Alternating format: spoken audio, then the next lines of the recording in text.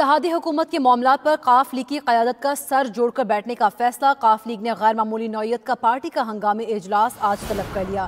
اجلاس میں کمیٹی کی تبدیلی اور دیگر معاملات پر بات چیت ہوگی۔ مزید بات کریں گے ہمارے ڈپٹی بیورو چیف لاہور میاں شاہد ندیم ہمارے ساتھ موجود ہیں۔ میاں شاہد ندیم، بتائیے گا اس اجلاس کا ایجنڈا کیا ہوگا اور کن اہم امور پر بات چیت ہوگی؟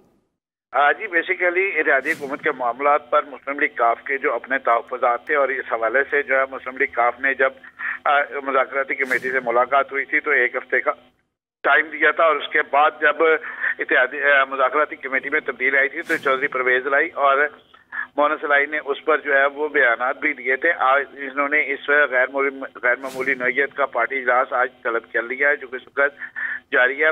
آج سابق وزیر اعظم چودھری شجاعت حسین اس کی صدارت کر رہے ہیں، جبکہ اسپیکر پنجاب اسمبلی چودھری پرویز لائی، ارکان اسمبلی مونا سلائی حسین علائی بھی، اجلاس میں مدعو ہے۔ کامل علی آغا پارٹی کے سینئر رہنما سلیم بریار بھی اجلاس میں شامل ہیں۔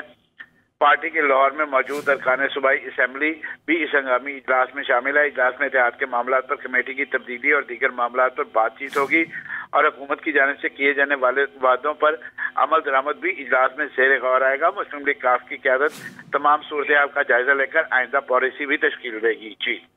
ٹھیک بہت شکریہ میاں شاہد ندیم آپ ہمیں اپڈیٹ کر رہے تھے۔